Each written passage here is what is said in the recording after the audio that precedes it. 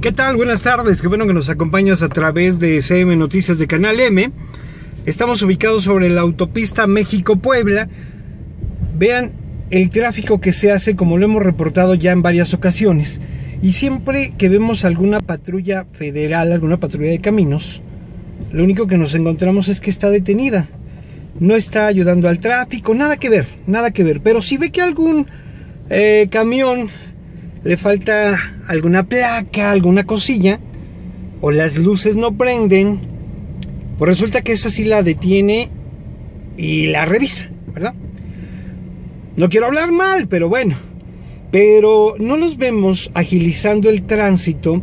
Sé que no es completamente todo lo que deben de hacer, pero bueno, si ya están en la autopista, ¿por qué no agilizamos un poquito el tráfico? En lugar de esperar a ver qué automóvil viene mal, ¿no? Entonces, por favor, hay que poner ya un poquito más de atención a esta parte. Hablan de muchos cambios, de muchas cosas, y en todos lados siguen las mismas situaciones. Otra de ellos es el transporte público. O sea, llora el transporte público porque lo van a quitar porque meten el metrobús, porque meten el maxibús, porque meten el metro, por lo que ustedes quieran.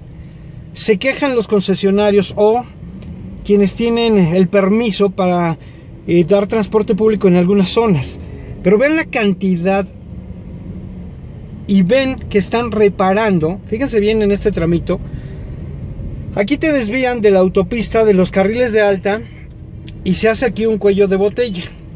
Venimos por la lateral en este momento, pero aparte de eso, vean dónde hacen la parada el transporte. Exactamente en el lugar donde se hace el nudo. Ahí los pueden ver ustedes.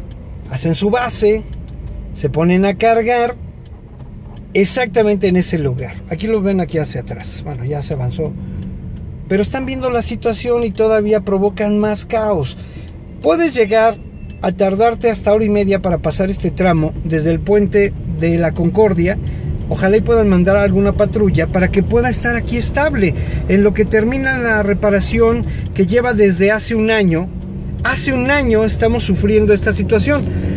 Problema que es horas de trabajo que se desperdician porque mm, imagínense usted si sale de su trabajo ya cansado y todavía se tiene que aventar otras dos horas, tres horas esperando avanzar en estos lugares. Lo invitamos a que siga pendiente y a que nos siga aquí a través de CM Noticias de Canal M y les iremos reportando todo lo que pasa siempre en los lugares que ustedes también nos indiquen a través de el Twitter. Pueden seguirnos en TV Canal M, arroba TV Canal M es el Twitter, donde nos pueden seguir. Continuamos en vivo transmitiendo en este día jueves. Ya por terminar el mes de diciembre, se acerca la Navidad y mucho frío. Abríguese muy bien. Las noches son muy frías y los eh, las mañanas muy tempranito el frío está pero cañón Está pegando cañón, así es de que abríguese, cuídese mucho y continúe con nosotros a través de Canal M. Buenas tardes.